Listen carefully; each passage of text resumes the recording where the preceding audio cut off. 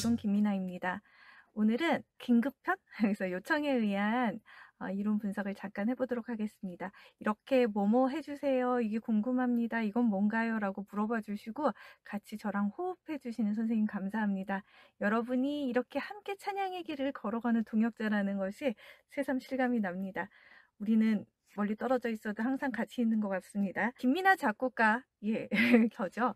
김민아 작곡가의 임재하소서라는 41권에 있는 유빌라테 찬양을 보도록 하겠습니다. 먼저 앞부분 전주와 A 부분을 잠깐 듣고 오시겠습니다.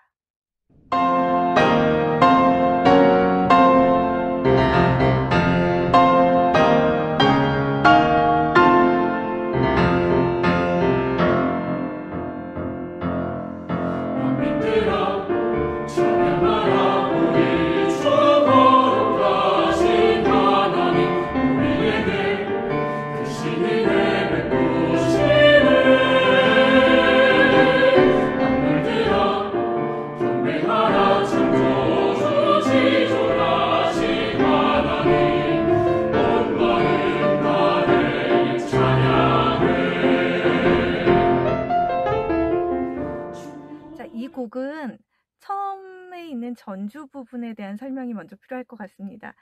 저희는 이미 예수님께서 이 땅에 오셔서 우리를 위해서 어떤 일을 하셨고 또 하늘로 올라가시기 전에 죽으시고 부활하시고 모든 과정들을 보았고 약속하신 보혜사 성령을 보내주셨다는 것까지 이미 다 알고 경험하고 누리고 있기 때문에 익히 아는 일이지만 그 당시 마가의 다락방에 모였던 초대교회 성도들은 얼마나 이 경험 자체가 신기한 것이었을지 저는 그것을 상상해 보았습니다. 그래서 성령의 임재하심에 대한 초인간적이고 이 초자연적이고 우리가 설명할 수 없는 감히 상상할 수도 없는 그것을 약간의 이런 사마음들의 병행으로 풀어보았습니다. 그래서 지난 시간에 배웠죠. 사마음의 병행이 어떻게 진행이 되는지 지금도 악보를 보시면 먼저 1마디부터 음 4마디까지의 요 사마음들이 F, E 플랫, F, G 플랫, F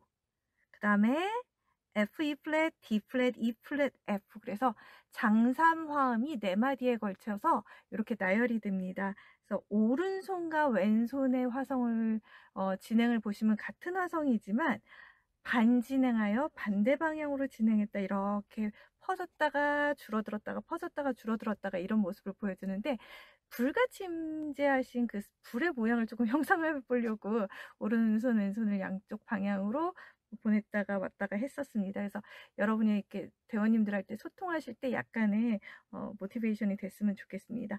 그것을 제외하고는 처음부터 끝까지 어, 인투로 지휘하셔도 좋고 인포로 지휘하셔도 좋은데 저는 작곡을 할 때는 인투의 느낌으로 작곡을 했었고 우리가 지금 녹음이 되어 있는 합창단의 경우에는 인포의 느낌으로 연주를 하고 있습니다. 이 찬양을 그래서 전주의 4마디까지의 그 신비로운 경험이 약간 느린 듯한 느낌으로 웅장하게 해주시면 되고 5마디부터는 본 찬양의 템포인 132, 140 요 템포로 어, 지휘를 해주시면 좋겠습니다. 이 곡은 그래서 조금 빠르기 때문에 어, 연습하는 조금 어려움이 있으실 것 같은데 조금 가볍게 해주시면 좋겠습니다. 쭉 가시면 됩니다. 어, 꼭 성령 강림 전에만 부르는 게 아니라 성령의 임재하심은 우리에게 늘 필요한 일이고 늘 있어야 하는 그렇지 않으면 크리스찬이 아닌 것이죠. 그래서 이런 게 언제든지 불려지었으면 좋겠다 생각해서 앞부분은 이렇게 가사를 일반적인 찬양의 가사로 가고 있습니다. 그리고 우리가 이제 여러분께서 이제 잘 아시는 찬송가가 나오죠.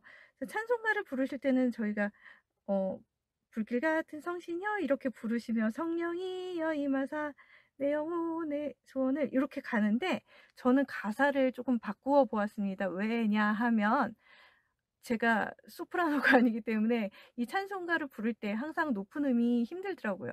성령이여 임하사 이런 가사가 조금 불편하다 그래서 조금 바꿔보려고 노력을 했는데 거기서 거긴 가사가 됐지요. 그래서 모음의 변화가 크게는 없지만 약간 편해지셨다면 하는 생각이 있습니다. 내 영혼의 소원을 만족하게 만족시켜 주소서 만족해 하소서라는 부분에서는 이 곡의 원래의 아이디어로 돌아가게 됩니다.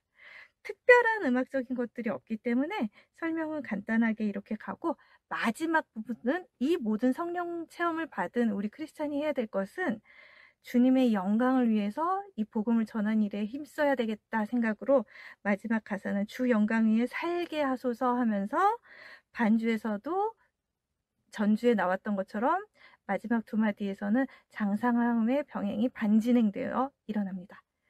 여러분 오늘은 짧게 여기까지 하겠습니다. 승리하세요.